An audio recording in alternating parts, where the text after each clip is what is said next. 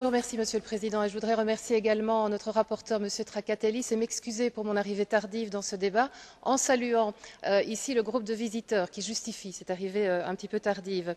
Alors, lors d'une audition sur les maladies rares que j'organisais l'année dernière au Parlement avec Eurordis, l'Association européenne des patients, j'avais rappelé qu'il appartenait, qu'il nous appartenait, qu'il appartenait à l'Europe de placer la barre très haut pour ces patients qui fondent tous leurs espoirs sur la recherche, et c'est ce qu'a fait notre rapporteur ici en renforçant considérablement le texte de la Commission le nombre restreint par pays de patients concernés et la fragmentation des connaissances euh, dans toute l'union font des maladies rares l'exemple par excellence où une action concertée euh, au niveau européen est une nécessité absolue.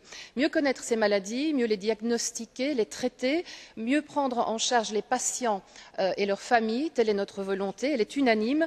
restent les questions du calendrier bien entendu et du financement. différentes options sont possibles nous les explorons. au delà des fonds qui sont octroyés par l'union européenne ou par les États. Il est utile aussi de trouver euh, d'autres sources de financement une option qui fonctionne bien dans beaucoup d'états membres c'est le partenariat privé public et je m'en voudrais ici de ne pas citer euh, l'apport financier considérable qui est apporté par les mobilisations citoyennes aussi. Le téléthon en france le télévis en belgique francophone ce dernier double ni plus ni moins le budget de la recherche scientifique. Un budget indigent qu'il me soit permis de le dire en passant treize euros par an et par citoyen comparé à cinquante euros en france ou cinquante sept en allemagne pour ne prendre que ces deux comparaisons je conclus monsieur le président.